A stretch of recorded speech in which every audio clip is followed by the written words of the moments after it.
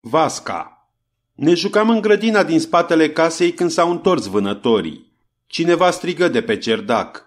Veniți repede să vedeți ce au adus. Am alergat să vedem despre ce era vorba. Descriind un rond mare înainte de a se opri în fața cerdacului, intrau una după alta căruțele încărcate cu piei de animale, coarne de țap sălbatici și hălcile din mistreții pe care îi vânaseră. Tata mergea pe lângă ultima căruță în care stătea cocoțat în față, un pui de tigru uitându-se speriat în toate părțile. Da, da, un pui de tigru în carne și oase. Obosit și plin de praf, se ținea cu ghearele de marginea căruței străbătând în felul acesta întreaga curte. Și când calul se opri în fața cerdacului unde stătea o mulțime de oameni, puiul de tigru se sperie, se trase înapoi și se uită pierdut la tata. Ei, Vasca, uite că am ajuns, îi spuse tata. Luă puiul de tigru în brațe și îl duse în cerdac. Puiul de tigru era ceva atât de neobișnuit încât ne pierdurăm și noi cu firea. Să nu-l aduceți în cerdac, Aci avem jucăriile, strigă Natasha cea mai mică dintre noi. Tigrii nu mănâncă jucării, spuse Iulia. Apoi se mai gândi și adăugă. Trebuie să-l hrănim foarte bine ca să nu înceapă să muște. Sigur că da, că doar nu-i pisoi. Și are și niște ochi mari și o coadă... Ați observat ce coadă are? Se târăște de-a dreptul pe pământ. Ei, pe pământ, întotdeauna exagerezi puțin. N-ai decât să te uiți. Împingându-ne una pe alta și călcându-ne pe picioare, ne-am urcat în cerdac. Puiul de tigru se plimba de-a lungul balustradei și mirosea cu mare atenție tot ce întâlnea în cale. După toate scuturăturile drumului, cu siguranță îi vâjâia capul și avea impresia că îi fuge pământul de sub picioare.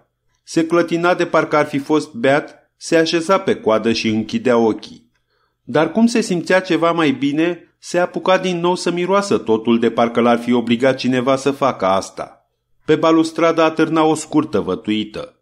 Puiul de tigru o trase cu laba de mânecă și o dădu jos. Sonia râse tare. Tigrul ridică ochii și se uită fix la ea. Acum puteam să-l privim în voie. Era cam cât un câine Saint Bernard de șase luni, avea cap mare, ochi rotunzi verzi, frunte lată și urechi scurte. Labele din față erau groase și puternice, cele din spate cu mult mai subțiri. Avea trupul slăbut și suplu și o coadă lungă ca un șarpe. E un copil încă, spuse Natasha serios. Într-adevăr, era încă un copil mititel și neîndemânatic. Era singur pe lume. Se lipea de piciorul tatei și se freca de el de parcă ar fi vrut să spună. Eu sunt singur aici, sunt mic, să nu-i lași să-mi facă vreun rău. Până a deshămat tata caii, a pus lucrurile în ordine și s-a spălat după drum, noi am luat puiul de tigru în brațe, l-am dus în cameră și l-am pus la loc de cinste pe divan, așezându-ne apoi cu toatele în jurul lui. Încercam să descoperim la el ceva deosebit și îl priveam cu multă atenție. Îi pusesem să bea lapte cald într-o ceașcă. El se întinse apoi pe divan și când dădu de lumina lămpii, strânse din ochi. Îi era tare somn, dar n-adormea și mișca într-una din urechi. Când am pus masa pentru cină și tata intră în cameră, puiul de tigru se ridică și se întinse spre el, scoțând un sunet ciudat, ca un fel de mieunat puternic. Ați auzit? Râde de bucuros ce e, se minună Natasha. Tata îl mângâie. Puiul de tigru se așeză la locul lui și a dormit în larma discuțiilor noastre. La cină am aflat totul despre puiul de tigru. Îl chema Vasca. Îl prinseseră undeva departe la 400 de kilometri de orașul nostru în Stufăriș, lângă lacul mare și pustiu Balhaș. Un vânător kazah, prieten bun cu tata, dăduse de urma a doi tigri. Prin locurile acelea nu erau tigri și perechea asta se rătăcise venind din Persia. Kazahul i-a dat de veste tatei și i-a urmărit mai departe pe cei doi tigri. Așa a văzut el că tigrii nu veniseră să vâneze în acest loc, ci să se ascundă, pentru că în curând tigroaica urma să aibă pui. Nu peste mult timp tigroaica s-a făcut nevăzută, iar tigrul a plecat prin trecătoare și nu s-a mai întors. Vânătorul îl aștepta pe tata să sosească de pe o zi pe alta. Colindase toate împrejurimile străduindu-se să dea de urma tigroaicei. Și iată că într-o zi dădu peste niște urme proaspete care duceau spre râu. Vânătorul se ascunse în tufișuri și de acolo se uita cu atenție la stuful de pe mal. Deodată, pe malul celălalt o zări pe tigroaică. Se mișca cu grijă printre tufe și ducea în gură ceva greu. Apoi aruncă povara, traversă râul în not, trecu pe lângă vânător și se îndepărtă. Bătrânul vânător pricepu de îndată despre ce era vorba. Lovi ușor căluțul cu palma, dar în loc să se ia după tigroaică, se grăbi să ajungă în locul unde își lăsase ea povara. Socotise foarte bine. În stuful des, strâns lipiți unul de altul, stăteau doi pui de tigru. Vânătorul îi apucă de ceafă, îi băgă într-un sac și încălecă. Puii de tigru țipau, se zbăteau și se căzneau să iasă din sac. Cazahul strângea tot mai tare sacul cu picioarele și dădea bice iepei. Știa foarte bine ce primești el paște dacă tigroaica se aruncă în urmărirea lui. Din câteva salturi ar fi putut să-l ajungă și să-l omoare. Nici în pușcă nu-și putea pune el mari speranțe pentru că era foarte veche și ruginită. Țeava se strâmbase și o legase cu o cârpă de patul armei. Și iată că, pe un cal superb și cu o pușcă la fel, neînfricatul vânător se încumetase să fure puii de tigru de la mama lor. Ajungând în tabără, cazahul început să se gândească ce să facă să scape de furia tigroaicei. Între timp, tata reușise să ajungă și el ca să-i vină în ajutor împreună cu alți vânători. Au ascuns puii de tigru într-una dintre iurte, în jurul taberei au aruncat bucăți de carne otrăvită și au aprins un foc uriaș. În aceeași noapte tigroaica a apărut în tabără. Scoțând răgete înfiorătoare, se plimba furioasă în jurul celor câteva iurte jalnice. Focul le insufla animalelor o frică grozavă, astfel încât tigroaica nu s-a încumetat să treacă dincolo de linia de foc. Turbată de furie, sfâșie un cal și înzor plecă în stufăriș pentru ca în noaptea următoare să apară din nou, încă și mai furioasă și mai înspăimântătoare. Se apropie din nou de tabără unde și muri. Mâncase o bucată de carne otrăvită. Dimineața o găsiră moartă. Când află tata prin ce primejdie uriașă trecuse prietenul său vânând cu o pușcă proastă, își scoase pușca lui de vânătoare splendidă și o dărui tovarășului său. În culmea fericirii, cazahul îi dădu tatei pielea tigroaicei și unul dintre pui. Până să ajungă la noi acasă, Vasca fu nevoit să suporte o călătorie lungă și anevoioasă. Aproape o jumătate din drum o străbătură călare pe cămile. Mersul lor legănat îi făcea rău sărmanului Vasca. Vomită, apoi începu să-i curgă sânge din nas. Atunci tata coborâ de pe cămilă și îl duse pe Vasca în brațe. De aici a și început prietenia lor deosebită. Da, a îndurat multe Vasca în timpul drumului. Își încheie tata povestirea. Odată m-a speriat rău de tot. Credeam că moare. Stătea culcat, își dăduse ochii peste cap, picioarele îi tremurau. Gata, mă gândeam. Dar nu, s-a culcat și și-a revenit. Asta mai lipsea să nu-și fi revenit după ce a trebuit să petrecem o săptămână încheiată în sătucul pescari. L-am îngrijit de parcă era Maria sa sultanul turcilor, a spus unul din vânători. Am râs cu toții. Dar voi de ce nu v-ați dus la culcare? Ne dojeni mama. E ora 12. Imediat în pat. La plecare îl mângâiarăm cu respect pe Vasca pe coada care a târnat de pe divan iar mama și tata începură să se gândească cum să-l așeze pe tigru pentru noapte. Pe atunci, mama nu-l cunoștea încă pe Vasca și se temea să-l lase nelegat. Dar tata spunea că Vasca e mai blând decât un pisoi și că e de-a dreptul ridicol să te temi de el. La urma urmei puteau să închidă ușa camerei în care stătea. Așa au și făcut. L-au lăsat pe Vasca pe divan, au stins lampa și au pus zăvorul la ușă. Imediat după ce au plecat ei, Vasca a ridicat capul. Era întuneric, pustiu, liniște. Și atunci tigrul cel înfricoșător sări de pe divan, începu să alerge prin cameră împiedicându-se de mobile și se puse pe plâns. Ba, ba, ba, ba, ba, ba, ba. Tata se gândea că o să mai strige cât o să strige și o să se potolească. Dar Vasca nu se liniștea deloc și, după ce plânse la început supărat, acum scâncea din ce în ce mai jalnic. Li s-a făcut milă și s-au dus la el. Vasca s-a bucurat, s-a aruncat spre tata și a început să-i lingă picioarele mărâind fericit. Evident, în cele din urmă l-au luat cu ei în cameră, l-au legat acolo sub o măsuță pe care stătea mașina de cusut, i-au așternut o cârpă groasă și Vasca s-a culcat pe ea mulțumit. Cât timp mama s-a pieptănat stând de vorbă cu tata, Vasca a fost cu minte. Dar cum a ieșit tata, puiul de tigru a și sărit și a început să se uite neliniștit în urma lui. Întorcându-se în cameră, tata îl mângâie și toți adormiră liniștiți. Dimineața când ne-am trezit, ne-am ridicat în capul oaselor. Primele cuvinte ale Natașei fură. A venit ieri un tigrișor Vasca sau n-a venit? Toată noaptea nu visase decât despre tigru și nu mai putea să facă deosebire între ce fusese aievea și ce fusese numai în vis. Știu cu siguranță că a fost. Răspunse Sonia și am plecat în sufragerie ca să verificăm dacă mai e acolo tigrul de ieri. Când am intrat în sufragerie, nimic. Am alergat la mama. Ea ne-a arătat locul de sub măsuța de unde Vasca ne privea cu ochii lui caragioși. Am dezlegat imediat lănțișorul și am fugit cu tigrul în grădină, țipând și chicotind. Acolo ne-am jucat, am alergat, i-am făcut cunoștință lui Vasca cu prietenii noștri câinii. Câinii crescuseră împreună cu noi și noi inventam întotdeauna fel de fel de jocuri la care să-i putem lua tovarăș și pe ei. Vasca arăta mare respect față de câini, dar aceștia înțeleseră se vede foarte repede ce soi de animal este și, lăsând cozile în jos, o luară la fugă. Bătrânul câine de vânătoare Zagrai stătea la soare. Vasca se apropie încet de el și întinse capul. Zagrai se sculă alene, privi chiorâș la Vasca și plecă grăbit. Mirosul de tigru îi făcea să tremure pe câinii de vânătoare. Numai câinele de curte Malic, foarte tânăr, nu se pricepea deloc la mirosurile vânătorii. Sărea peste Vasca, se lipea de pământ, îl împingea cu laba, dădea din coadă și, lătrând zgomotos, se hârjonea cu el. Vasca se prinse și el în joc și începu să țopă stângaci în urma câinelui. Tot hârjonindu-se așa, ajunseră în curtea plină de soare.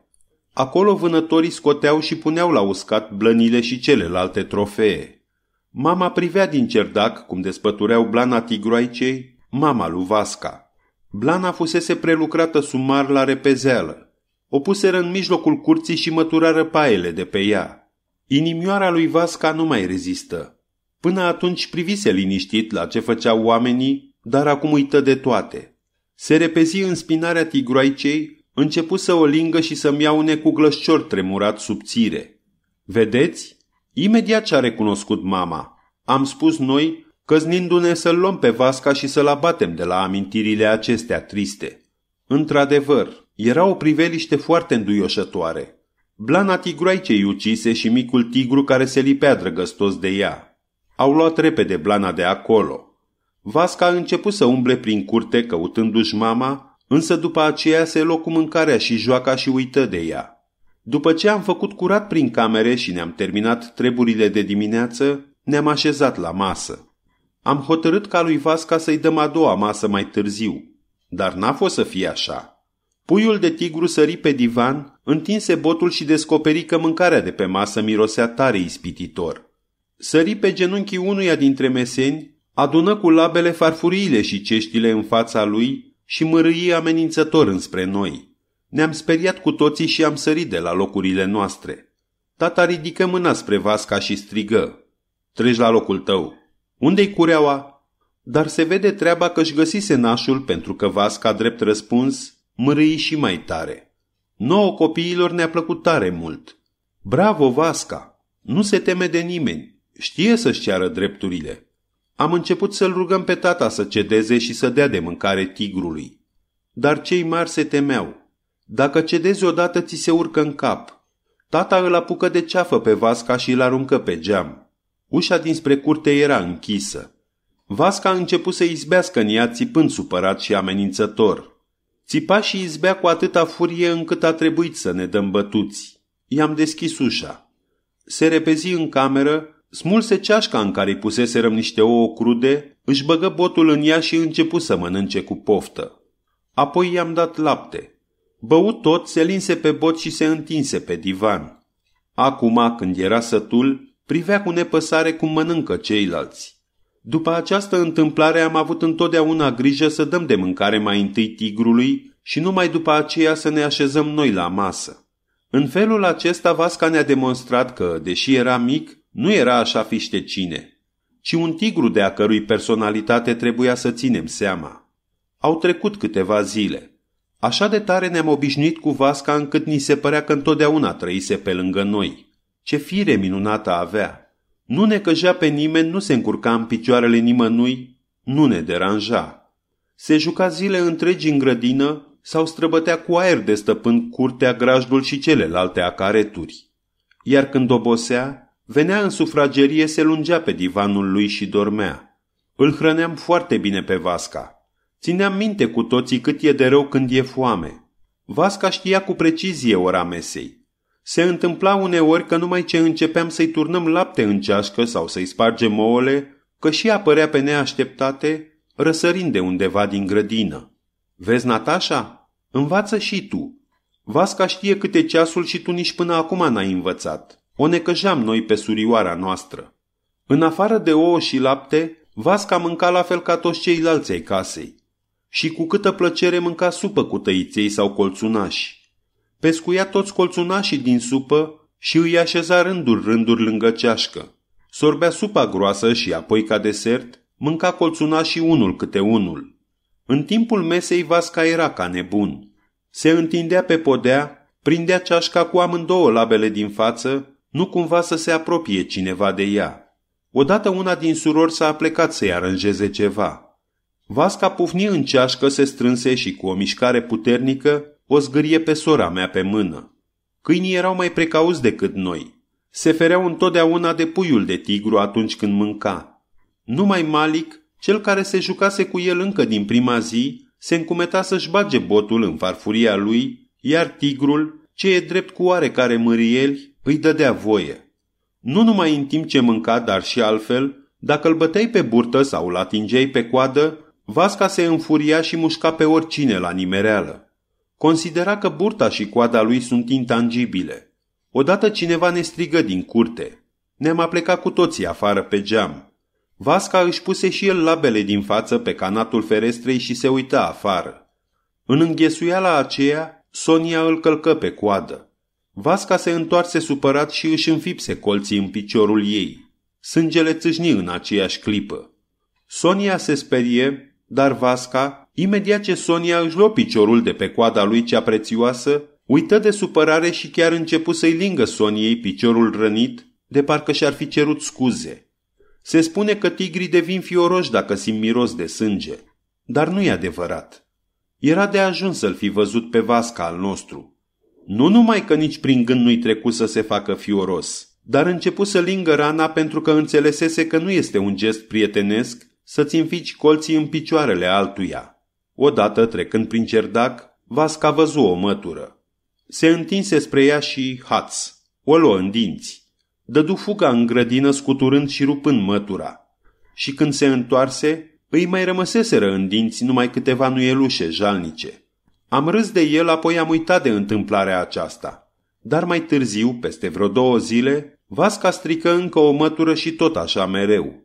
Ne-am convins că era un fel de obicei la el. Nu putea nici cum să treacă indiferent pe lângă o mătură. Cum o zărea, imediat o lua în dinți și o rupea. Aveam chiar impresia că în timp ce făcea asta, chipul lui lua o înfățișare fioroasă, de parcă s-ar fi răzbunat pentru ceva. În cele din urmă am aflat ce era. Când îl aduseseră pe Vasca din stepă, tata se oprise cu el să se odihnească la unul dintre prietenii lui vânători. Vânătorul avea o nevastă foarte afurisită care îl lovea mereu cu mătura pe vasca pentru că lăsa urme de murdărie pe preșurile ei. În felul acesta a luat naștere la vasca ura față de toate măturile din lume. Tot de aici se trăgea și amintirea lui despre alte două lucruri foarte interesante. Fusta și cizmele. Când stăpâna furioasă, persoana îmbrăcată în fustă, alerga după el cu mătura în mână, Vasca își găsea salvarea la oamenii din cealaltă categorie cu cizme adică tata și stăpânul casei. Aceștia îl apărau și de aceea Vasca a nutrit întotdeauna un sentiment de dragoste deosebită față de cisme. În schimb, suporta foarte greu fustele. Mama îi dădea lui Vasca de mâncare și avea multă grijă de el. El reușea să o deosebească foarte clar de toate celelalte femei.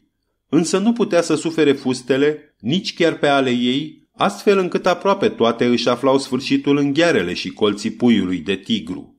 Vasca știa să deosebească foarte bine mirosurile. De exemplu, nu-i plăceau parfumurile și nici mirosul florilor. Dacă se întâmpla să miroasă vreo floare din grădină, Vasca se strâmba și strănuta multă vreme. În schimb, Mirosul de salam îl recunoștea de departe și îl considera probabil drept unul dintre cele mai fermecătoare din lume. Imediat ce îl simțea, tigrul se apropia emoționat și începea să țipe. Cu alte cuvinte, striga ca un pofticios lacom și capricios ce era. Unde e salamul? Vreau salam. Dați-mi salamul meu. Odată într-o seară mâncam niște salam. Tigrul, care tocmai își primise porția, era în camera de alături. Se strecură în sufragerie și se urcă pe masă. A, nu, asta nu, spuse tata. Ai mâncat. Du-te la culcare. Cu aceste cuvinte îl răsturnă pe Vasca pe divan și așeză salamul în dulap mai sus. Dar Vasca nu se liniști. Își puse labele din față pe masă, se convinse că salamul nu mai e acolo și începu să alerge ca nebun prin cameră ridicând botul. În cele din urmă descoperi de unde venea mirosul. Se urcă pe geamul deschis, întinse din nou nasul și se apropie de dulap încercând să sară pe el și pufnind foarte supărat. Ia să vedem, oare o să reușească să ia salamul sau o să renunțe? Vasca se foia în jurul dulapului, zgâria și mușca colțul. De fiecare dată când începea să sară, cădea înapoi ca un sac de tărâțe. În cele din urmă, supărându-se, se urcă din nou pe masă și încercă să sară de pe masă pe dulap. Atunci ne-am speriat că o să cadă și o să se lovească zdravăn. Asta e. Mai bine să-i dăm salam. Am hotărât noi toți. Tata tăie o bucată de salam și strigă. Prinde-o vasca. Vasca în picioare pe masă deschise larg botul. Bucata de salam căzut direct în fundul gurii și fu înghițită în aceeași clipă. Vasca făcu ochii mari la noi. Ce mai e și păcăleala asta? Unde s-a dus salamul? Îmi amintesc de o duminică plicticoasă. Din zor plouase într-una și bătuse un vânt rece. Ziua era întunecoasă de parcă era seară. Ne foiam prin casă și ne plictiseam. Hai să facem focul în sobă și să coacem porumb pe cărbuni, propuse Sonia. Ne-am înviorat cu toții și am început să umblăm de colo-colo. Alergam care după lemne care să facă surcele, iar eu cu sora mea ne-am dus în cerdac unde țineam porumbul pus la uscat. Am adus lemne și am început să facem focul. Soba era în dreptul divanului pe care stătea Vasca. Urmărise cu atenție cum a izbucnit flacăra chibritului, cum s-au aprins surcelele și au început apoi să troznească lemnele. Vasca ciuli urechile și uimit se așeză în patru labe pe divan. Vai ce lucru nemaipomenit de interesant, părea să spună. În toiul discuției n-am observat că se dăduse jos de pe divan și dintr-o dată s-a auzit un țipăt. Uuu! Ne uitam și ce să vezi. Vasca își băgase capul în sobă și de frică începuse să sufle în foc. De la suflatul lui, focul s-a întețit brusc, iar Vasca, sărmanul de el, încremenise pe loc. Bine că tata nu s-a pierdut cu firea. S-a repezit și l-a tras înapoi pe Vasca de coadă. Vasca își arsese mustățile și sprâncenele. Boticul lui era plin de cenușă. Se înghesuise într-un colț al divanului și privea la noi atât de pierdut și amărât, încât aveam impresia că e gata să izbucnească în plâns. Iată cum se terminase explorarea sobei. Copii, copii! Ne strigă Iulia râzând. Veniți repede în coa. Am ieșit în fugă pe cerdac. Ce s-a întâmplat? Iulia își acoperi gura cu palma și amenință cu degetul. Liniște! Ia uitați-vă! Vasca al nostru are grijă de copii. Pe treapta de sus a scării care ducea în grădină stătea un băiețel de patru ani pe nume Pavlic. Suspina, bombănea necăjit și îl împingea pe tigru cu mâna. Dar Vasca nu dădea nicio atenție acestui lucru. Se așezase pe labele de dinapoi, le pusese pe cele din față pe umerii lui Pavlic și așa, sprijinindu-se de el, îl pieptăna grijuliu. Era foarte încântat de munca sa. Măria tot timpul drăgăstos deasupra capului lui Pavlic. Hmm, Mmm, mmm. Îl lingea de la ceafă spre frunte. Părul copilului era tot ud de salivă și se ridicase măciucă în sus. Iar Vasca își închipuia probabil că e foarte frumos și îi străluceau ochii de mulțumire. Trebuie să-l gonim imediat. Nu vedeți că Pavlic e necăjit? Ia te uită ce mai frizer s-a făcut. S-a apucat să-i pieptene pe alții. Capul lui nu-i mai ajunge. N-are decât să se lingă pe burtă și pe labe. Ca să nu mai vorbim că nici nu-l linge ca lumea, ci în răspăr. Sonia alergă și aduse o bucată de salam pe care i-o dădu lui Vasca să o miroasă și o aruncă în celălalt capăt al cerdacului. Vasca se repezi după salam, iar noi făcurăm cerc în jurul lui Pavlic. Iulia turna apă cu cana, eu îi frecam părul năclăit de salivă, iar Natasha ținea în mână o prăjitură cu dulceață ca să-l răsplătească pentru toate cele îndurate. Apoi îi dădură în prăjitura, iar el o mâncă și ni se plânse de Vasca. Eu mă jucam și el s-a apropiat târâși de mine. Apoi mi-a pus labele, uite aici, pe spinare, și arătă spre umeri, și a început să mă caute în cap. Apoi m-a scuipat în păr. Eu l-am împins. Pleacă, Vasca. Nu trebuie. Nu vreau. Dar el râdea de mine. Și Pavlic început să smiorcăie din nou amintindu-și de pieptănatul lui Vasca. Am încercat să-l liniștim cu toatele, dar era atât de caragios, mic, necăjit, cu părul ciufulit, cu fețișoara boțită de supărare și mânjită toată de dulceață, că nu ne-am putut abține și am izbucnit în râs. Pavlic, văzând că noi râdem, se opri din plâns și începu și el să râdă. Mai târziu, peste câteva luni, lui Pavlic începură chiar să-i placă pieptănăturile lui Vasca. Și nu rare ori puteam vedea același tablou. Numai că de asta dată Pavlic nu mai plângea, ci fredona vesel sau stătea de vorbă cu Vasca, amândoi cu chipurile strălucind de mulțumire. Vasca încerca apoi să ne pieptene și pe noi pe fete, dar nu ieși nimic din treaba asta.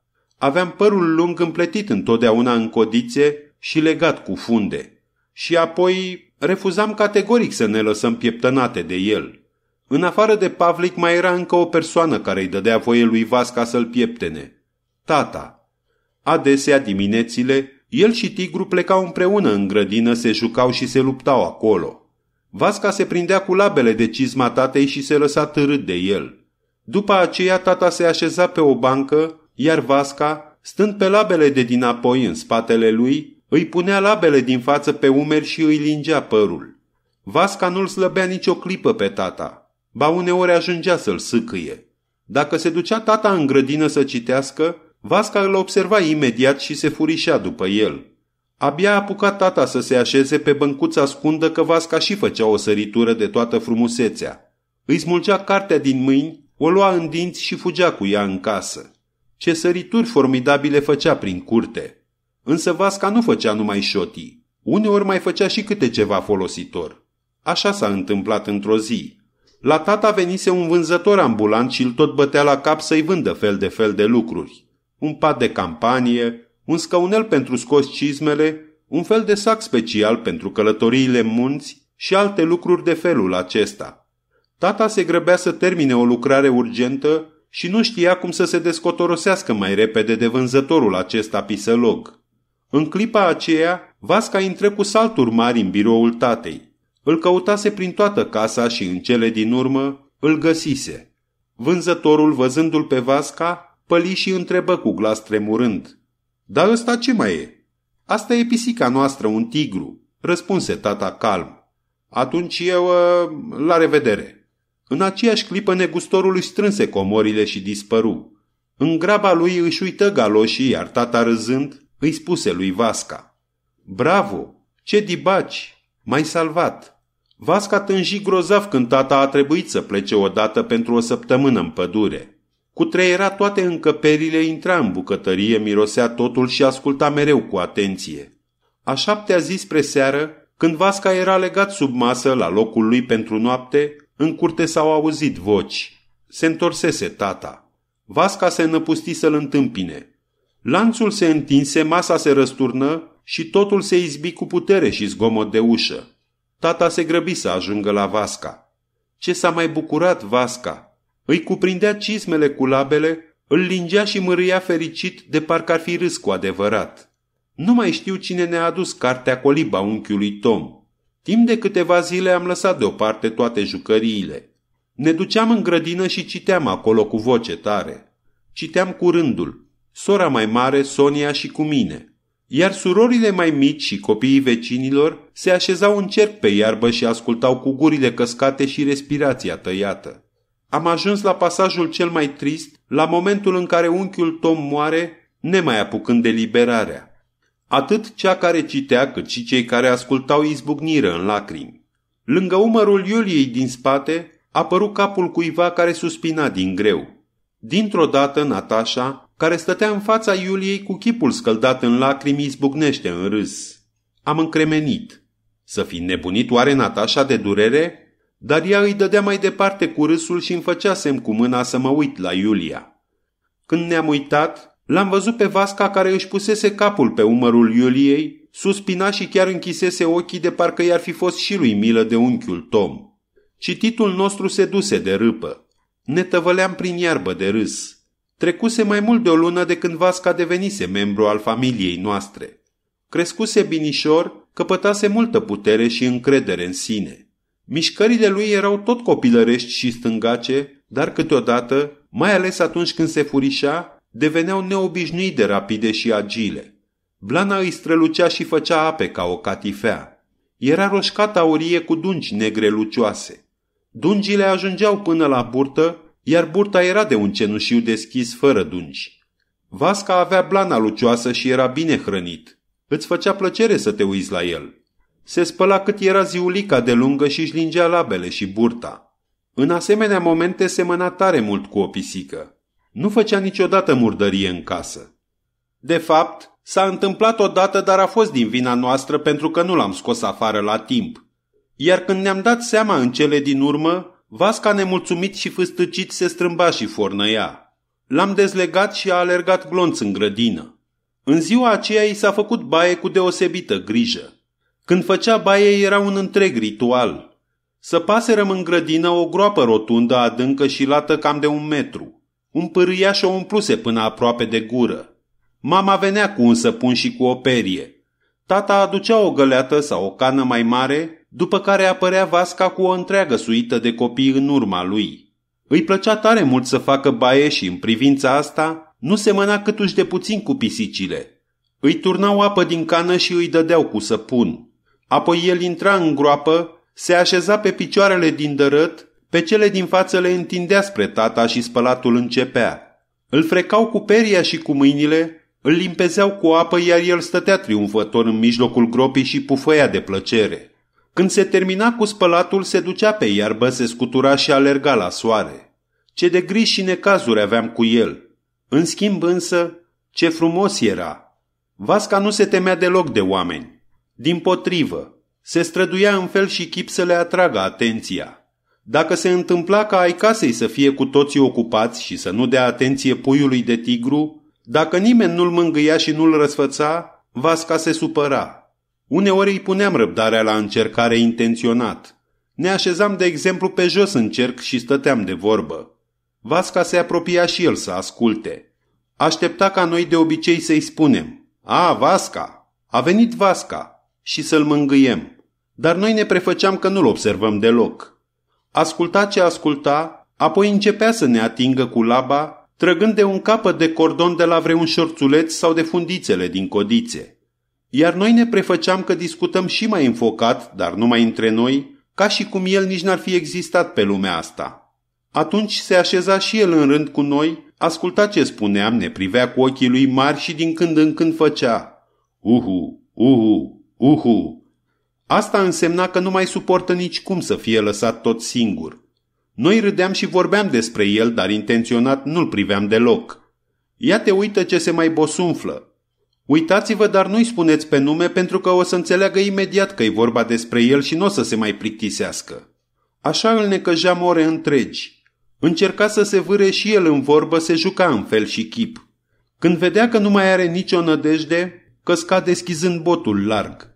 Și avea un bot minunat roșu cu un fel de franjuri pe margine, și dinții erau la fel de frumoși, mari, albi și puternici. Uitam imediat de înțelegerea noastră, ne uitam la gura lui și ne minunam de dinții lui. Vasca intra de îndată în cercul nostru. Încercam să-i deschidem botul cu mâna, iar el întorcea capul și se bucura. Reușise totuși să ne facă să-i dăm atenție. Oamenii veneau din toate părțile să se uite la tigrul nostru. Din oraș, din așezările învecinate, ba chiar și din munți. Sunau la poartă, noi alergam și dădeam deoparte parul care ținea poarta. Am auzit că aveți un tigru domesticit. Putem să-l vedem? Dacă e nevoie, plătim. La început am fi vrut tare mult să primim bani. În felul ăsta am strâns odată două ruble. dar tata s-a supărat și nu ne-a dat voie să luăm bani. Ne-a spus să-i lăsăm să-l privească numai de departe, să nu-l mângâie și, fără încuvințarea lui, să nu-i dea nimic de mâncare. Ne făcea plăcere faptul că oamenii mari ne cereau nouă voie. Cât sunteți? Sunteți mulți? Stați aici lângă poartă. O să-l chemăm imediat. Numai să aveți grijă să nu-l mângâiați. Îl priviți numai și să nu-i dați nimic când vine. Bine, o să facem cum porunciți. Se așezau așa cum le arătam noi și erau cu toții foarte interesați. După aceea mergeam în grădină. Îl chemam pe Vasca și el ieșea plin de importanță în întâmpinarea vizitatorilor. În primul moment, toți se fereau, iar el se mira și se uita la noi. Noi îi linișteam. Ei, de ce vă temeți? Că doar e îmblânzit. Nici măcar nu înțelege de ce v-ați speriat. Vedeți? Îi băgam mâinile în gură, îl mângâiam pe cap, după urechi și sub bărbie. Îi ridicam laba grea și le arătam privitorilor pernuțele. Ia priviți! Toate ghearele îi sunt strânse și n-aveți de ce să vă temeți. Nu se mai săturau privind la vasca. După aceea le plăcea atât de mult încât voiau cu tot din adinsul să-l mângâie. Nu, spuneam noi, nu-i voie să-l mângâiați, altfel o să o încasăm noi pentru asta. Nu, nu o să pățiți nimic. Ba da, cu siguranță. Dar insistau atât de mult până când noi adăugam intenționat. Și apoi, ă, cine știe ce se mai poate întâmpla? E totuși un tigru? Dacă mușcă pe cineva, ce ne facem? După asta nu ne mai rugau. Odată Vasca se plimba prin curte când, deodată, zări o crăpătură în gard.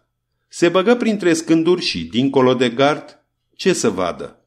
O stradă pe care aleargă câini, trec căruțe, copiii se joacă de aprinselea și lângă gard câțiva oameni joacă de zor cărți. Vasca examină toate astea cu privirea, își trase capul înapoi și, de emoție, făcu uf după aceea băgă din nou capul. Însă, așa cum vă spuneam, nu suporta ca oamenii să nu-i dea atenție. De aceea tot privind ieși cu totul afară. Cei care jucau cărți se întoarseră și ziseră, Vai ce arătare! Iar Vasca le răspunse, Uhu! Se ridicară de jos. Unul dintre ei îi spuse celuilalt, Haide frate Vasca să mergem, ca să n-aibă de suferit pantalonii noștri. Se vede că-i tigrul pădurarului. Știi, animalul ăla periculos vărgat. Spusese haide vasca și puiul de tigru înțelesese că e vorba de el așa că se apropie. Oamenii se speriaseră și o luară la fugă, iar o femeie chiar scosese un țipăt de spaimă. Puiul de tigru rămase descumpănit. Se așeză drept în mijlocul drumului în praf și începu să se scarpine după ureche. Între timp se apropie și tata de gard. Când se uită ce să vadă? Vasca stătea în praf și se scărpina gânditor după ureche, iar vecinii stăteau adunați mai departe, se uitau la el și râdeau. Tata sări peste gard vrând să-l ia imediat pe Vasca. Dar vecinii începură cu gura. Mai lasă-l puțin, nu lua așa de repede. Uite ce nostimie. E ca o pisică. Tata le povesti despre tigri, apoi îl puse pe Vasca să se lupte și să se rostogolească. Îl lovea în glumă peste bot, iar Vasca dădea cu laba și încerca să-l doboare pe tata. Când tata luă tigrul și l-a duse acasă, întreaga mulțime îi conduse strigând în urma lor. Vasca, Vasca, mulțumim că ai venit și la noi. Avea multe găini și Vasca le privea cu mult interes. Odată ieși la plimbare. Curtea era plină de băltoace pentru că tocmai plouase. Vasca mergea cu grijă, ocolea băltoacele și scutura labele ca un motan. Dintr-o dată zări la soare o cloșcă cu puișori ca niște ghemulețe de vată. Vasca își lipi urechile de ceafă, ca întotdeauna când se furișa, și se făcu una cu pământul ca să sară la pui. Cloșca simți primejdia, început să se agite, își adună copiii, își înfoie cât putuia mai amenințător penele și, tremurând toată de spaimă în fața lui Vasca, se aruncă furioasă asupra lui. Dădea din aripi, sărea peste el și se căznea să-i scoată ochii. Vasca se sperie, dădu din cap și o luă la goană. Nu mai vedea nici pe unde calcă, cădea direct în băltoace. Stropii zburau în toate părțile. Iar cloșca după el. Îl ataca tot mai înverșunat și îl ciupea de spate. Abia când Vasca, cu mișcări disperate, sări în cerdac, se întoarse și ea bătut din aripi și se duse mândră la puii ei. Cea de-a doua ciocnire între Vasca și găini se petrecu în ajunul unei sărbători – toate animalele erau flămânde în ziua aceea pentru că încă de dimineață Ai casei erau ocupați cu pregătirea mâncărurilor și, în zăpăceala aceea, uitaseră să le dea să mănânce. Câinii erau flămânzi, la fel de înfometat era și Vasca. La un moment dat Sonia alergă la bucătărie. Mamă, vai ce-au făcut câinii! Ce s-a întâmplat? Am văzut că își luaseră singur de mâncare. Mâncaseră șunca pregătită pentru sărbătoare. Intraseră în ghețărie și o scoseseră de acolo. Atunci ne-am amintit că nici Vasca nu mai mâncase nimic și ne-am hotărât să-i dăm de mâncare. Dar era prea târziu. Vasca, flămând și răutăcios, stătea în mijlocul curții la soare și se încrunta la găinile din jur. Încă nu îndrăznea să le atingă pentru că nu uitase probabil cum îl ciugulise cloșca. În acel moment, trecu pe lângă el un nefericit de cocoș schilot care avusese picioarele degerate. Vasca făcu o săritură și cocoșul rămase atârnat în dinții lui încleștați. Noi am văzut scena din cerdac și am țipat cu toatele. Din casă ieși în fugă tata. Lo primul vreasc care îi căzu în mână îl arse pe Vasca și strigă supărat. Dă-i drumul imediat, că de nu te... Vasca răgni sălbatic refuzând să dea drumul victimei. Ochii îi ardeau. Era înfricoșător. Tata înțelese că dacă dădea înapoi în fața lui de astă dată, nu se mai putea înțelege cu el după aceea. Îl lovi odată și încă o dată. Vasca răgnea sălbatic și țopăia, dar nu lăsa cocoșul din colți. Atunci tata îl apucă de labele de dinapoi, îl ridică în aer cu cocoș cu tot și îl izbi cu capul de gard. E drept, pedeapsa era foarte aspră, însă răsculatul se potoli imediat. Dădu drumul cocoșului care se sufoca și se așeză buimăcit și parcă dintr-o dată înmuiat. Mama îi dădu repede de mâncare, după care Vasca supărat se duse în grădină. Multă vreme n-a putut să ierte tatei treaba asta. Nu se mai apropia de el, nu se mai freca de picioarele lui și, în general, nu mai vorbea cu el. Cât despre găini, nu le-a mai atins niciodată. E drept, se mai întâmpla să sară asupra lor pe neașteptate din câte o tufă, dar o făcea numai în joacă. Dinții lui nu luau parte la joaca asta. Jocul se termina în clipa când găinile înspăimântate se împrăștiau care încotro cotcodăcind, iar Vasca, speriat de propria lui șotie, se retrăgea deoparte.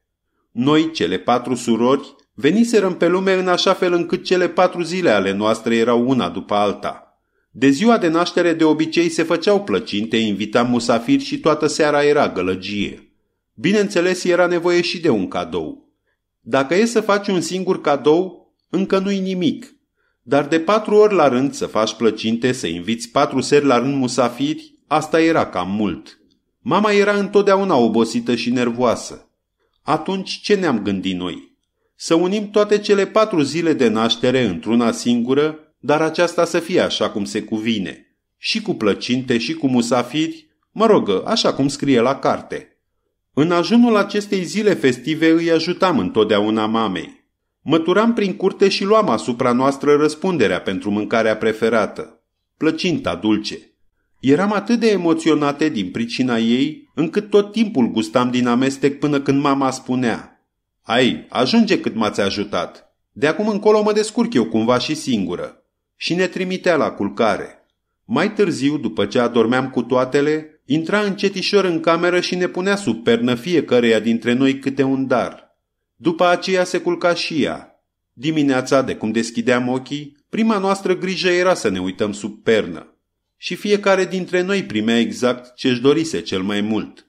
Sonia o carte groasă despre animale a lui Brem, eu un teatru de păpuși, Iulia o cutie cu culori pentru desen iar Natasha jocul de-a târgul de vite. Am întins imediat jucăriile, am început să ne uităm la ele și să ne minunăm. Mama se bucura și ea de bucuria noastră. Veni pentru o clipă ca să ne cheme la masă și rămase cu noi. De mâncare uitaserăm cu toții. Între timp a venit un musafir. Ușa dinspre terasă era deschisă și nimeni n-a auzit când a intrat în sufragerie. Era un coleg de-al tatei. Se apropie de masa pusă și citi pe plăcinta noastră. La mulți ani, copii! A, deci așa stau lucrurile. Astăzi au o sărbătoare, îi spuse el și început să se plimbe prin cameră fredonând. Musafirul era un om mic de statură nu mai înalt decât un băiat de 10 ani, în schimb își dădea mare importanță. Nu-i ajungeai cu prăjina la nas. Când dădea mâna cu copiii, Le întindea numai două degete și își ridica ochelarii. Nu-l iubeam și râdeam de el pe ascuns. Plimbându-se prin cameră, la un moment dat scoase din buzunar o batistă și începu să șteargă mustața. Batista răspândea un miros puternic de parfum. Deodată, foarte aproape de el, cineva pufni scârbit. Pâf! Musafirul se uită în jur. Ce să fie asta? Era Vasca. Trăsese pe năr parfum și strănutase din cauza lui. După aceea se așeză pe divanul pe care dormea de obicei și adulmecă încă o dată. Vai ce porcărie! Botul îi se strâmbase, limba ieșise din gură și pielea din jurul năsucului se încrețise. Sărmanul musafir își pierdu capul de tot. Orice s-ar spune nu-i de glumă. La mai puțin de doi pași de tine stă un animal care nu e nici pasăre, nici măcar câine, ci un tigru adevărat care te privește și se strâmbă la tine. Vasca strănută din nou și dădu din cap. Un animal sălbatic nu înțelege niciodată de ce trebuie oamenii să miroasă atât de puternic. Animalele din potrivă se străduiesc să miroasă cât mai puțin ca să nu le simtă dușmanii. Musafirul înfrigurat nu știa ce să născocească ca să se înțeleagă cu el cu binișorul. Se uita cu jind la ușă, dar nu îndrăznea să miște nici măcar un deget. Iar Vasca între timp începea să priceapă că, probabil, băiețelul acesta vrea să se joace cu el. Coborât de pe divan, se apropie de el și mărâi ca și când ar fi vrut să spună. Foarte bine. Atunci înseamnă că ne jucăm, nu-i așa? Musafirul tresări. Vasca se încordă. Începeau să-l roadă și pe el îndoielile. Omulețul acesta se purta foarte ciudat. Mirosea puternic, tresărea, nu stătea de vorbă cu el ca toți ceilalți. Ciudat comportament. Tigrul își trase înapoi o labă, apoi pe cealaltă. Se duse spre ușă și se opri în prag. Pisi, pisi, draga mea, se bâlbâi musafirul. Pleacă, dragă, pleacă, și scutură Batista spre el. Vasca strănută din nou puternic. Musafirul se ascunse în spatele mesei. Ei, în sfârșit, băiețelul încetase să se mai zburlească și se hotărâse să se joace cu el. Puiul de tigru sări vesel în urma lui. Musafirul se cățără pe divan. Vasca după el. Musafirul sări de pe divan pe masă și se așeză pe plăcinta noastră printre farfurii. Pentru o clipă, Vasca îl pierdu din ochi. Ia te uită! Ce frumos începuseră să se joace și dintr-o dată băiețelul dispăruse undeva. Vasca se ridică pe picioarele din spate, le puse pe cele din față pe marginea mesei și îl văzu. A, iată unde era! Stă pe masă și-l așteaptă pe Vasca. De bucurie, puiul de tigru începu să facă niște salturi atât de năstrușnice încât sărmanului omii se făcu părul măciucă de frică. Își pierdu tot aerul important și, disperat, ca un om care se înneacă început să strige. Ajutor! Ajutor! Salvați-mă! Din când în când, Vasca se oprea, se ridica iar și se uita la masă. Musafirul, văzând botul tigrului atât de aproape și ochii care îi ardeau în cap, își făcea vânt cu batista parfumată și gemea. Salvați-mă! Ajutor! Ne-am speriat cumplit când am auzit gemetele și am alergat în ajutorul lui. Ne-am năpustit grămadă în sufragerie și am rămas încremenite. Pe masa festivă, chiar pe prăjitura noastră preferată, ședea musafirul verde la față de frică. Îngrozit, își rotea privirile spre podea, ca și când de acolo se aștepta să fie atacat de monstrul dezlănțuit. Iar acolo ședea Vasca zburlindu-și voios mustățile. Am izbucnit în râs. Musafirul se căsni și el să zâmbească, dar tot nu-i venea să coboare de pe masă și privea temător spre Vasca.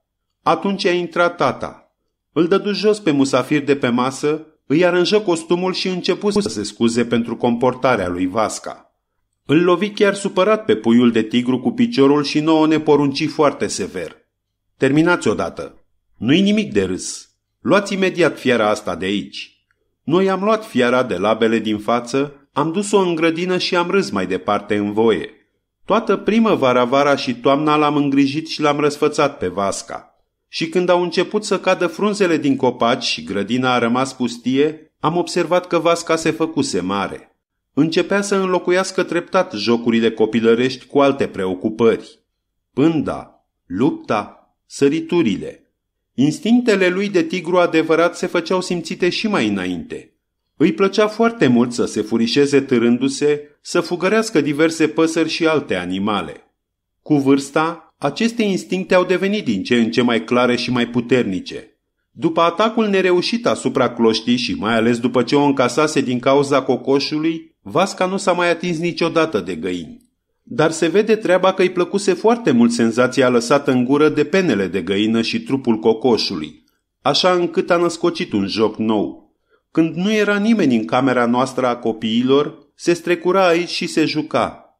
Îi plăcea în mod deosebit să tragă pernele jos de pe pat, să le muște de un colț și apoi să le dea cu laba. Penele și fulgii zburau în toate părțile și atunci putea să strângă perna în dinți cu toată puterea și să urle. Avea impresia că într-adevăr vânează păsări sălbatice. Noi ne adunam repede la strigătul lui Vasca și îl prindeam asupra faptului. Perna pe jos, Vasca pe ea, botul fioros plin de pene. Ai mâncărici, nu-i așa? Îl dojeneam noi încercând să salvăm din calea lui diverse obiecte. Nu poate să stea deloc liniștit. Trebuie să ia totul în colț și să sfâșie. Astfel încât am fost nevoit să căutăm o ieșire. I-am făcut cadou lui Vasca o jucărie, un păslar vechi. Trăgeam păslarul cu o sfoară și tigrul îl prindea așa cum face pisica cu șoarecele. Când terminam cu joaca, îi lăsam păslarul și astfel îi astupam gura. Având păslarul în dinți, Vasca nu mai strica alte lucruri. Cu păslarul în bot se îndrepta plin de importanță spre gard. Îi plăcea foarte mult să se uite la cai și ziua, când dădeam drumul calului într-un loc anume împrejmuit din grădină, el se ascundea undeva în tufișuri și stătea ceasuri întregi lângă el. Dar jocul nostru preferat cu el era următorul.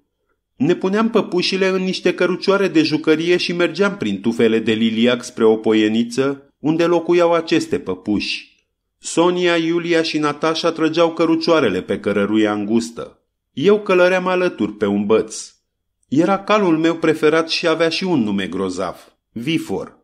Pe drum povesteam cum în aceste locuri oamenii pașnici sunt atacați adesea de animale sălbatice, iar printre tufeli căreau ochii lui Vasca. Se furișa după cărucioare ca o pisică gata să sară în orice clipă. Iată, poiana e aproape. Mai rămânea de străbătut numai o potecă cea mai primejdioasă pentru că era plină de tufe. O cotitură. Încă una. Cărucioarele dispăreau după colț unul după altul. Și în acest moment, ca o vijelie, se năpustea asupra caravanei un tigru. În strigătele disperate ale locuitorilor pașnici, fura păpușa din cărucior și fugea cu ea în fundul grădinii. În astfel de momente nici grădina nu mai era grădină, ci junglă. Ne înarmam înfrigurate cu carabine, carabinele erau niște bețe cu cartofi înfipți în vârf și ne repezeam să salvăm femeia răpită. Se întâmpla adesea ca după luptă, când Vasca dădea înapoi sub ploaia de gloanțe cartofi, sărmana femeie să rămână cu burta sfâșiată și fără perucă. Peruca și pălăria rămâneau în botul lui Vasca. Vasca mai descoperise o distracție. Să sară în copaci. În fața casei creștea un copac bătrân rămuros. Am agățat o bucată de pâslă în copac și l admiram pe Vasca cum se urcă după ea. A târnat destul de sus, odată și jumătate cât un stat de om.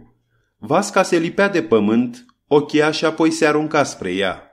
O clipă și Vasca, cu dinții și labele înfipte în bucata de pâslă, se legăna sus deasupra pământului. Câtă forță și elasticitate erau în corpul lui mlădios de felină când sărea așa în crengi. După ce se sătura de legănat, sărea înapoi pe pământ. Călcând fără zgomot, înconjura de câteva ori copacul și apoi își pironea iar privirea pe bucata de pâslă.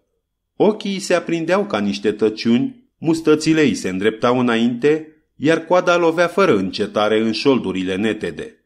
Divanul devenise neîncăpător pentru el când se întindea cât era de lung. Noi ne jucam ca și mai înainte, fără niciun fel de grijă cu prietenul nostru, dar cei mari se gândeau din ce în ce mai des că e timpul ca viața lui Vasca să se schimbe. Odată, pe când era în vizită la primarul orașului, o femeie mai fricoasă a început să se vaete și să se plângă de vasca al nostru. Ah, cum e posibil? În oraș absolut liber să se plimbe un tigru. Ah, mi-e teamă să mă și gândesc, că doar te poți aștepta la orice de la el. De ce să riscăm? De ce să ne facem în mod inutil probleme? După aceste discuții, Primarul l-a chemat pe tata și i-a comunicat că nu mai are voie să-l țină pe Vasca în libertate și că trebuie să-l pună în cușcă. Și până va fi gata cușca, să-l țină legat în lanț. Trebuia să facem tot ce ni se ordonase. La început Vasca nu s-a putut împăca deloc cu captivitatea și plângea cu vocea lui tristă de bas. Avea o mutrișoară atât de amărâtă încât, deși aveam dispoziție să nu-i dăm drumul, îl dezlegam câteodată, ferindu-ne de cei vârstnici care la rândul lor îl dezlegau și ei ferindu-se de noi. Și atunci, Vasca alerga ca mai înainte prin grădină, stătea pe divan, sărea în copac după bucata lui de pâslă și se străduia să-și dezmorțească în fel și fel mușchii. Zilele treceau una după alta și cușca nu mai apărea. Ca să comandăm o cușcă mare solidă nu aveam destui bani, iar să comandăm o cușcă mică și înghesuită nu avea sens. Oricum i-am fi dat drumul lui Vasca din ea. Tata se aștepta să aibă alte neplăceri din partea primarului și mergea tot timpul îmbufnat și supărat. Și atunci, ca la comandă, apăru un negustor. Vindeți-l, vindeți-mi-l mie. Am să-l hrănesc bine, am să-i fac o cușcă imensă. O să se simtă minunat cu mine. Tata și mama s-au ținut tari multă vreme. Nu le venea deloc să se despartă de vasca. Dar întreținerea tigrului costa foarte scump, apoi mai era și nemulțumirea vecinilor care începuseră să se plângă de vasca. Diverse alte motive încă i-au făcut să înceapă să se gândească. Și parcă în adins, vasca mai făcu o boacănă. Într-o zi, pe la ora 12 la amiază, tata a auzit niște țipete îngrozitoare – ieși repede în curte. Pe lângă cerdac se agita mama și arăta cu mâna spre gard. Acolo, lângă gard, era un țap sălbatic micuț. Țipa exact ca un copil și peste el, înfigându-i ghearele în coaste și rostogolindu-și ochii, stătea ticălosul de vasca. Când ne-am apropiat de el, a sărit de pe țap și a luat-o la sănătoasa. Tot era bine că după întâmplarea memorabilă cu cocoșul, Vasca se temea de tata. Și cu toate astea, Înainte să fugă își înfipse dinții în cizma lui. După asta ni s-a interzis cu desăvârșire să-i mai dăm drumul lui Vasca din lanț. Acum stătea legat zile întregi. Trecură încă zece zile și Vasca făcu o nouă ispravă. Reuși să se dezlege singur și înhăță un mâns. Cei drept fu prins și de asta dată, dar Vasca mușcă pe cineva destul de serios. Atunci cei mari au hotărât că trebuie să ne despărțim definitiv de el. L-au chemat pe negustor, reprezentant al unei grădini zoologice, și punându-l să-și dea cuvântul că se va purta frumos cu vasca și că nu-l va duce la menagerie, s-au înțeles să-l vândă.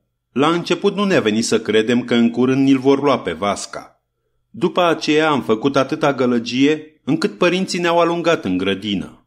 Acolo în grădină a venit după noi și negustorul cel șmecher. Început să ne dea bomboane, să ne invite la grădina lui zoologică și ne spuse că iubește foarte mult animalele. Pe lângă asta, ne mai rugă să-i povestim despre toate obiceiurile lui Vasca și să-l învățăm cum trebuie să se poarte cu puiul de tigru. La început nici n-am vrut să stăm de vorbă cu el, dar pe urmă, încet încet, am început să-l învățăm cum trebuie să-i dea de mâncare, cum să-l spele și cum să aibă grijă de Vasca. Și tot timpul îl priveam cu neîncredere și îl puneam să jure în fel și chip că o să-l iubească pe Vasca. Da, de altfel are foarte multă nevoie de dragostea dumneavoastră. Adăugam noi nepoliticoase și plecam să ne plângem amarul în liniște. Și iată că veni și ziua cea tristă. Într-o seară de toamnă, când cârdurile de stâncuțe țipau sub cerul gol, în curte a intrat scârțâind o căruță. În căruță era o cușcă de fier. Tata o lua peste picior pe mama, dar și lui îi tremurau mâinile când îl dezlegă pe Vasca. Vasca, lipindu-se speriat de picioarele lui, intră în cușcă după el suindu-se pe o scândură. Iar când tata ieși și Vasca rămase singur, tigrul începu să țipe și să se zbată. Apoi, scâncind jalnic, își vârâ labele printre zăbrelele de fier și le întinse spre tata. Toți ai casei stăteau în jurul lui în tăcere, mișcați de disperarea lui Vasca. Vestea că îl iau pe Vasca ajunsese și până la noi. Am aruncat toate jucăriile și am alergat în curte. Am oprit căruța care tocmai se pusese în mișcare și ne-am lipit obrajii de zăbrelele cuștii. Vasca! Dragă Vasca! Strigam noi cu glasul tremurând, iar Vasca în cușcă scâncea și repeta mereu. Uf! Uf! Uf! Mama avea ochii plini de lacrimi. Iar noi, cum se puse căruța în mișcare, ne luarăm paltoanele și pornirăm să-l petrecem pe Vasca spre noua lui locuință. Am rămas acolo până seara târziu și am ajutat la amenajarea cuștii mari pentru Vasca. După aceea i-am făcut un culcuș moale din fân. L-am mângâiat de rămas bun și am spus, mâine dis de dimineață cum s-o lumina de zi o venim din nou la tine, Vasca. Am plecat. Puiul de tigru rămas singur pentru prima oară fără noi, scâncea și se zbătea. A doua zi de dimineață ne-am dus la Vasca. L-am trezit din somn pe paznic și l-am rugat să ne dea drumul. N-am venit ca să vedem animalele dumneavoastră. Spuneam noi paznicului care nu voia să ne lase înăuntru. Am venit pur și simplu la Vasca. Înțelegeți? La tigrul nostru. E al nostru. Avem dreptul ăsta. Am trecut cu forța pe lângă paznic și am pornit atât de repede pe cărare, încât el s-a mulțumit să dea din mână în urma noastră. Aveam senzația că în noaptea petrecută fără noi, lui Vasca trebuie neapărat să îi se fi întâmplat ceva. La capătul aleii se vedea cușca. Puiul de tigru, vioi și sănătos, privea fix în lungul cărării. Ne auzise când ne certasem la poartă și sărise în sus ca să ne iasă în întâmpinare. Sonia alergă și ajunse prima la el strigând. Ce mai faci, Vasca?" Vasca îi strâmbă mustățile într-un zâmbet și răspunse. Uf, uf! Întinse laba printre gratii și noi o strânserăm toate pe rând. Am spălat podeaua cuștii și am șters-o cu cârpe uscate, apoi am scuturat paiele și am pus să-i se spele vasul de apă mai des, de câteva ori pe zi, pentru că Vasca e pretențios și nu o să vrea să bea apă dintr-un vas murdar. Am verificat cu foarte multă grijă tot ce i-au adus după aceea de mâncare. Am povestit apoi acasă cum se simte puiul de tigru și, în prima zi liberă, tata și mama veniră și ei împreună cu noi. Ce bucurie pe Vasca! Tata deschise imediat cușca și îl lăsă pe Vasca să alerge prin grădina uriașă. Vasca sărea, se tăvălea prin iarbă și, mai ales, se freca de picioarele tatei. Îi lingea mâinile, îl îmbrățișa și nu-și lua ochii de la el. Parcă zâmbea tot timpul pe sub mustăți. Așa de mult semăna scâncetul lui cu un râs scurt. După ce ne-am săturat de joacă, a venit și momentul să plecăm. Vasca intră liniștit și încrezător în cușcă în urma tatei. Tata se strecură repede afară și ușa se închise cu zgomot. Vasca se împăcase chiar și cu asta. Torcea mai departe, deși fusese închis în cușcă, și se freca de gratii. Dar asta numai atâta timp cât ne-a văzut mergând pe cărarea care ducea spre ieșire. Când ne-a pierdut din ochi, Vasca s-a aruncat în pereții cuștii și a strigat disperat în urma noastră un strigăt atât de trist. Noul stăpân al lui Vasca se străduia, în măsura posibilităților, să-l înconjoare pe tigru cu aceeași atenție de care era înconjurat la noi, dar nu iubea animalele și le privea ca pe o sursă de venituri. În plus, se și temea de Vasca. Din fericire, cazahul Ismail, care locuise înainte la noi și îl iubea și îl răsfăța foarte mult pe Vasca, se declară de acord să meargă la noul stăpân al lui Vasca special pentru ca să aibă grijă de tigru. Asta i-a ușurat foarte mult soarta lui Vasca. Alături de Ismail, Vasca nu mai tânja atâta după casă. În general se simțea bine. Îl hrăneau de parcă ar fi vrut să-l ducă la tăiere. Treptat ne-am obișnuit cu toții cu ideea că Vasca nu locuiește acasă, ci cu câteva cartiere mai departe. Începuse școala și acum mergeam la Vasca numai duminica. De fiecare dată când îl vedeam pe Vasca, eram uimite de rapiditatea cu care creștea. Într-un răstim de câteva luni devenise un tigru puternic imens. Odată, stăpânul lui Vasca veni alergând la tata. Era foarte emoționat și mult timp nu putu să lege două vorbe. Din exclamațiile și frânturile lui de frază, tata înțelese că se întâmplase ceva cu Vasca. Își luă șapca și se repezi în ajutorul lui Vasca. Când se apropie de cușca lui Vasca, Văzu că era deschisă ușa în lături și în cușcă nu era nimeni. Între timp, se apropie de el Ismail și îi spuse că Vasca e culcat în casă. Stăpânul lui Vasca, auzind aceasta, alergă după veterinar, iar tata se duse la Vasca. Stătea culcat cât era de lung pe podea și respira greu. Nu avea zgardă. Tata se aplecă deasupra lui, îl mângâie și îl strigă pe nume. Dar Vasca nu-i răspunse. Era în agonie. Nu mai putea fi ajutat cu nimic. Au mai trecut câteva minute. Vasca respira adânc și își dădu duhul. Tata, foarte amărât, început să-l descoasă pe Ismail ce se întâmplase.